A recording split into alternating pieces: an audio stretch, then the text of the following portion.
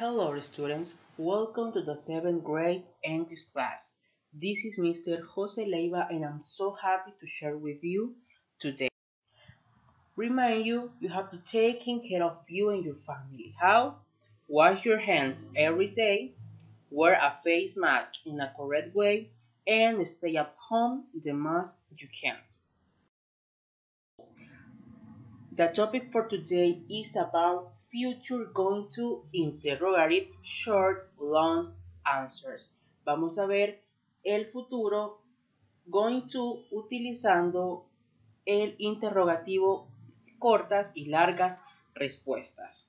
So, let's start with the lesson and paying attention.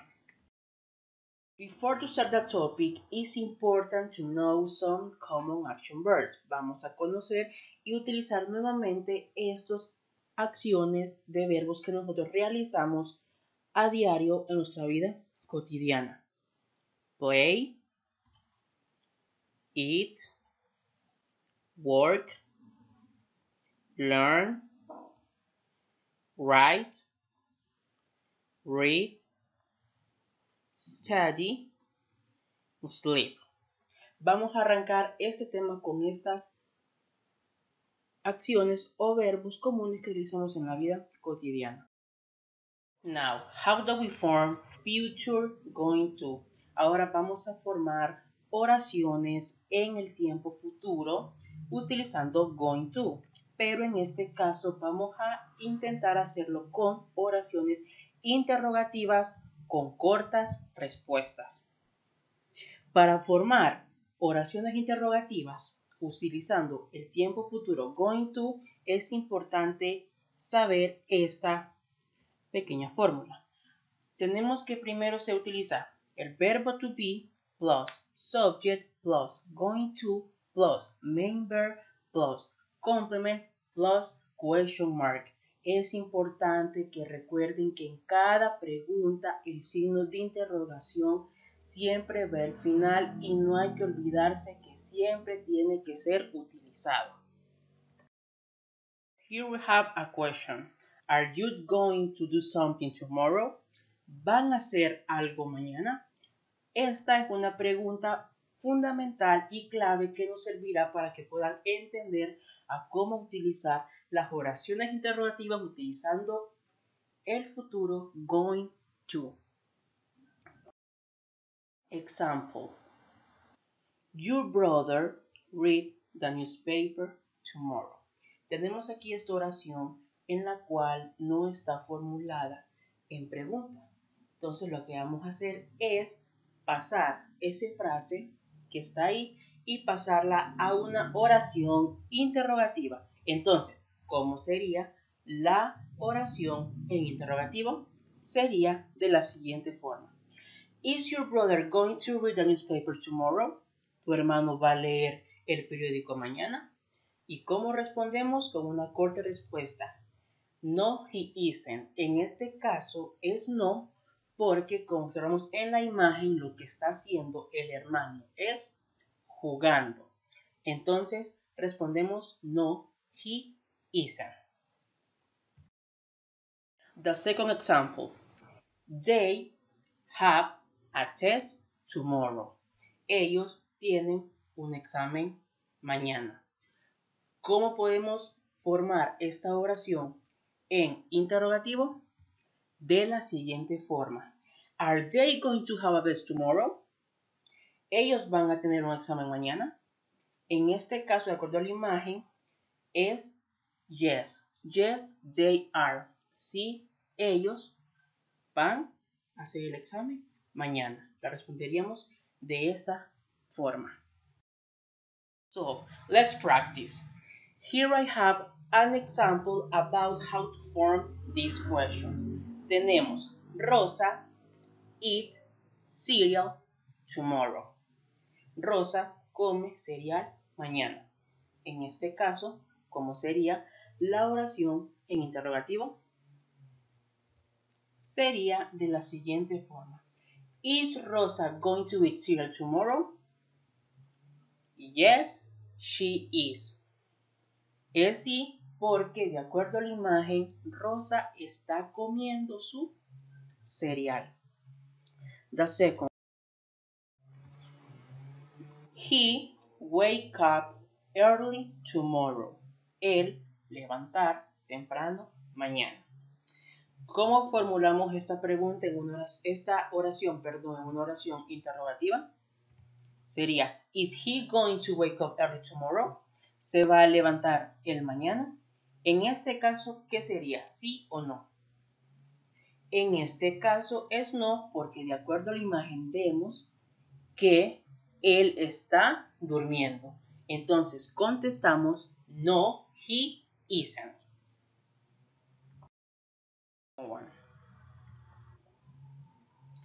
They study late tomorrow. Ellos estudian tarde mañana. ¿Cómo formaríamos entonces esa pregunta?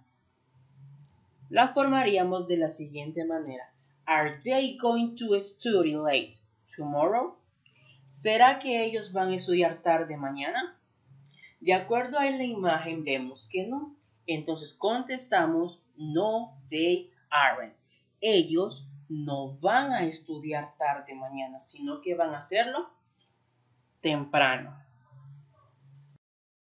Ya vimos un poco cómo formar oraciones interrogativas utilizando respuestas cortas. Ahora vamos a ver lo mismo, hacer preguntas, oraciones en preguntas con respuestas largas. Y para poder hacer énfasis de cómo formar una pregunta en futuro con una larga respuesta, se pondría de la siguiente manera. La oración está compuesta por WH question plus verb to be plus subject plus going to plus main verb plus complement plus question mark. La única diferencia de esta con la anterior es en este caso se va a agregar lo que se llama una pregunta común, como ejemplo WH question, como, como ser qué, dónde, cuándo, cómo, etc. Ok, vamos a iniciar con la segunda pregunta, solo con la diferencia que esta es una pregunta diseñada para contestar respuestas largas. En este caso entonces, what are they going to do tomorrow? ¿Qué es lo que van a hacer ellos mañana? Aquí les presento unos cuantos ejemplos. What's Freddy going to do tomorrow? ¿Qué es lo que Freddy va a hacer mañana? De acuerdo a la imagen vemos que él está como leyendo un libro. Entonces, ¿cómo lo contestaríamos? He's going to read his book. Él va a leer su libro. Another example. Vemos la imagen ahí a una maestra y unos alumnos. Entonces, la pregunta sería, What are students going to do tomorrow? ¿Qué es lo que los estudiantes van a hacer mañana? De acuerdo a la imagen, ellos, they're going to learn a new topic. Ellos van a aprender un nuevo tema con ciertos ejercicios. Tenemos two chapters, letter A y letter B. Tenemos que la letra A hace referencia a Robert y la segunda, o inciso B, trabajo. Como podemos observar, aquí nos presentan lo que es el sujeto y lo que es el verbo principal. En este caso, el sujeto es lo que está en el inciso A, que en este caso sería Robert. Y en la letra B sería el verbo principal, que en este caso sería trabajar. Vemos la imagen que es un hombre, una sola persona. Entonces, ¿cómo formaríamos esta pregunta a modo de contestar en una respuesta larga? Sería de la siguiente forma. What's Robert going to do tomorrow? ¿Qué es lo que Robert va a hacer mañana? De acuerdo a la imagen, he's going to work in the office. Él va a trabajar en la oficina. Letter A, you and your sister. En letter B, study. Tenemos aquí el sujeto, que en este caso sería you and your sister. Tú y tu hermana. Y tenemos el inciso B, study, que en este caso sería estudiar. Entonces, estamos hablando, you and your sister, estamos hablando de dos personas. Entonces, ¿cómo formamos la pregunta? What are you and your sister going to do tomorrow? ¿Qué es lo que van a hacer tú y tu hermana mañana? ¿Cómo contestaríamos? We're going to study. Vamos, va a estudiar mañana. Ashley write an essay. Letter A, Ashley. En este caso sabemos que es el sujeto. Letter B, write an essay. En este caso el verbo principal sería write, que es el verbo escribir. Y lo otro sería an essay, que hace referencia a qué tipo o qué es lo que va a hacer con la escritura. Pero en este caso va a escribir un ensayo. Entonces, ¿cómo formamos la pregunta? En interrogativo, a modo de que sea una larga respuesta, la colocamos de la siguiente forma. What's Ashley going to do tomorrow? ¿Qué es lo que va a hacer Ashley mañana? Como sabemos, she's going to write an essay. Lo que va a hacer mañana ella, que va a escribir un ensayo hope you are understanding this topic. Espero que hayan entendido este tema. Y si tienen todavía dudas sobre cómo este, formular preguntas, es necesario que siempre traten de practicar todos los días. Practice every day. Pueden practicar buscando en internet, más que todo videos en YouTube que hagan referencia a cómo utilizar este tipo de temas, ya que nosotros practicamos y mentalizamos lo que aprendemos, se nos va a ser más fácil aprender este idioma que sabemos que es muy difícil de aprender.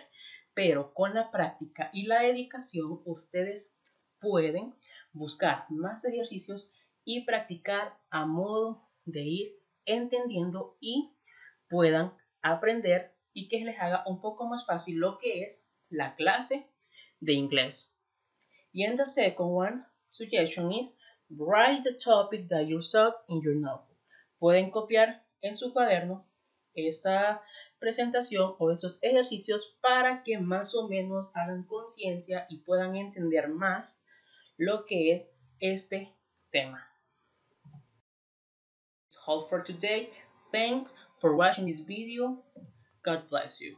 Gracias por ver este video. Espero que les haya servido y que Dios les bendiga. See you next time.